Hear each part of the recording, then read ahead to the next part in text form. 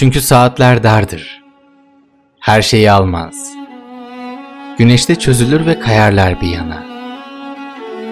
Mısırlar güçlükle büyürken yağmursuzluk kaygılandırır dilsiz bahçıvanı. Sessiz kuşlar, bir keçi, ağır iğde ağaçları.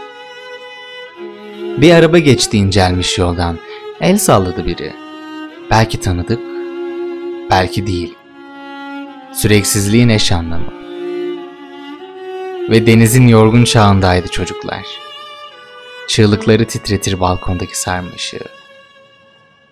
Çünkü dardır saatler. Sığmaz bir araya.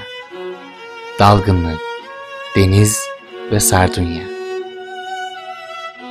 Rüzgar alıp götürdü balıkçı teknelerini uzaktaki kılıçlara.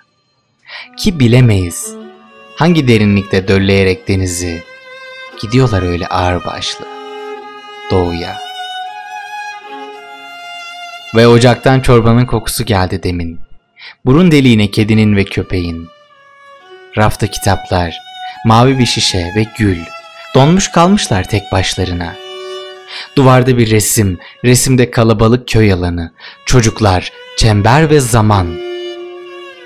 Bruegel nasıl da toplamış bunca ortaklığı ve uyumu bir araya. Çünkü saatler dardır, sığdırılmaz.